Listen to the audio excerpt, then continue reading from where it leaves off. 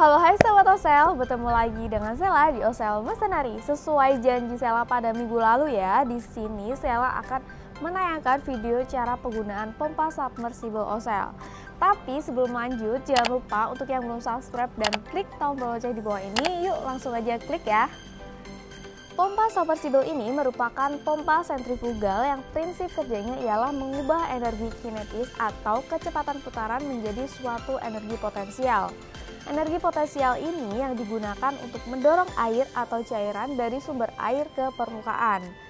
Energi ini dihasilkan dari suatu impeller yang berputar dalam casing atau rumah pompa. Pompa submersible ini mensyaratkan adanya ketinggian minimal air yang dapat dipompa. Syarat ini harus dipenuhi agar pompa submersible dapat bekerja dengan baik. Nah, di sini kita akan dibantu Kak Zain untuk menggunakan pompa submersible Osel yang tipe 2 SDM ya. Nah, gak usah lama-lama yuk, langsung aja kita ke cara penggunaannya.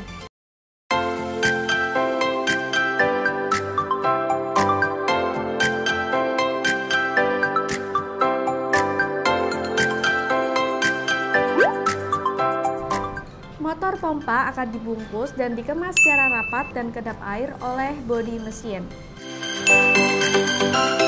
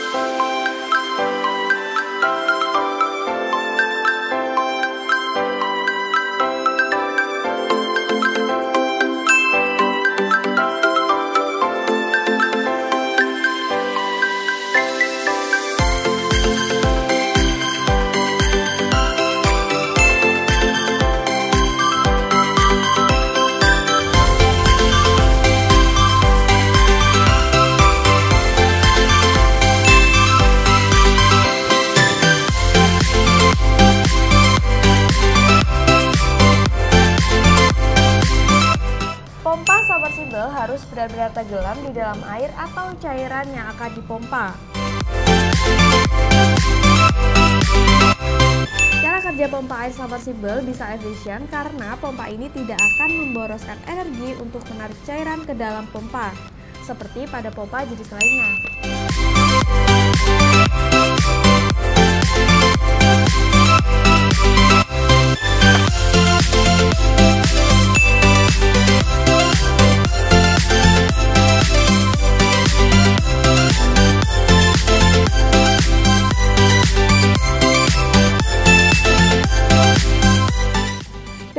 Motor mesinnya dapat didinginkan oleh air yang ada di sekitarnya sehingga bisa mencegah terjadinya overheating pada pompa submersible tersebut.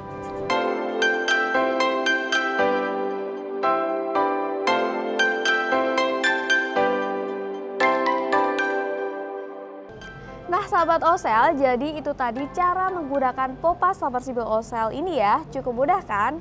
Biar gak ketinggalan video terbarunya Osel Mercenary, jangan lupa untuk like, subscribe, dan klik tombol lonceng di bawah ini ya. Cukup sekian video dari Sela, semoga bermanfaat. Terima kasih dan sampai jumpa.